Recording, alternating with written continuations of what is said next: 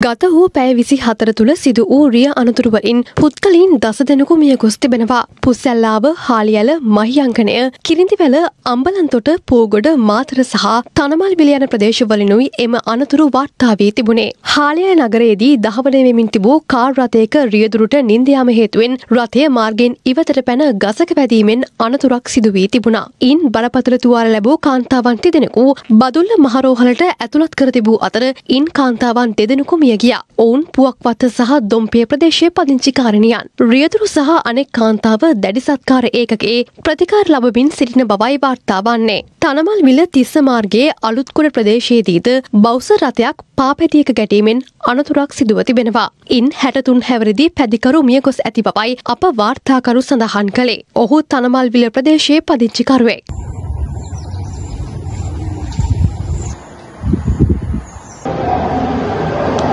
මෙ අතර පෙර වසරවලට සාපේක්ෂව මෙවර අලුත් අවුරුදු දිනයේදී සිදුව ඇති අනතුරුවල අඩුවක් දක්නට ලැබෙන බව වෛද්‍ය රුක්ෂාන් වෙල්ලන පවසනවා. පෙරේදා දිනේදී කිසිදු ගිනිකෙළි අනතුරක් සිදුව නැති බවයි වාර්තා වන්නේ. ගත වූ පැයවිසි හතර තුළ විවිධ අනතුරු හේතුවෙන් ප්‍රතිකාර සඳහා කොළඹ ජාතික රෝහලට ඇතුළත් කර ඇති පුද්ගලින්ගේ සංඛ්‍යාව එකසිය හැට දෙකක්.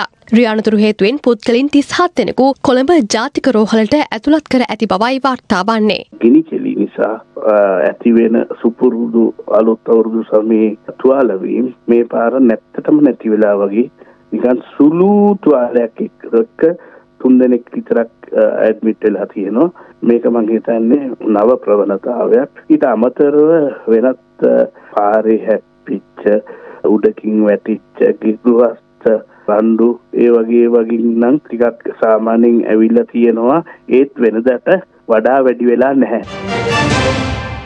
රටේ ලෝකෙ සිදුවන උණුසුම් පුව දැනගන්න සියත නිවස් YouTube channel එක අදම subscribe කරන්න.